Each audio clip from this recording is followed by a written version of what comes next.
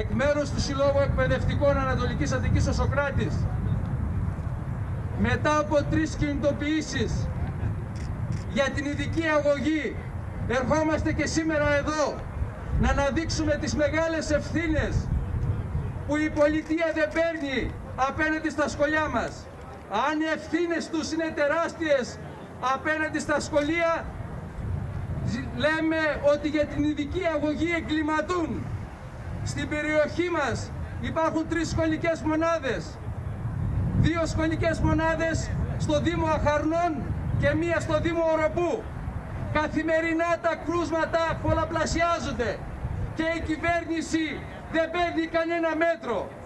Όπως είχαν ανοίξει και δουλεύουν οι σχολικές μονάδες πριν την πανδημία, έτσι λειτουργούν και τώρα. Έρχονται τα παιδιά της ειδικής αγωγής στα λεωφορεία, όπως και πριν. Κανένα μέτρο. Ζητάμε να βάλουν εδώ και τώρα πούλμαν επιπλέον, ώστε να αριώσουν οι μαθητές και να έρχονται ασφαλεί στις σχολικές μονάδες. Μέσα σε όλα αυτά δεν φτάνει αυτό, αλλά στο Δήμο Οροπού απολύουν συναδέλφισες καθαρίστριες 19 και μία από αυτές δούλευε στο ειδικό σχολείο Οροπού. Δύο μέρες στο ειδικό σχολείο Οροπού ήταν χωρίς προσωπικό καθαριότητας.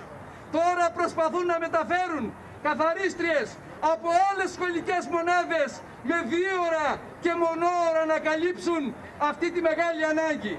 Συνεχίζουμε, τους ζητάμε εδώ και τώρα να πάρουν μέτρα, να κόψουν από αυτά που δίνουν στο κεφάλαιο, στους καναλάρχες, στους κλινικάρχες, να ενισχύσουν τη δημόσια εκπαίδευση. Δεν πάει άλλο αυτή η κατάσταση. Είναι εγκληματικές οι ευθύνες. Συνεχίζουμε στον δρόμο του αγώνα, ώσπου να τους αναγκάσουμε να βγούνε από τα γραφεία τους και να σκύψουν πάνω στα προβλήματα, να πάρουν μέτρα για την ειδική αγωγή.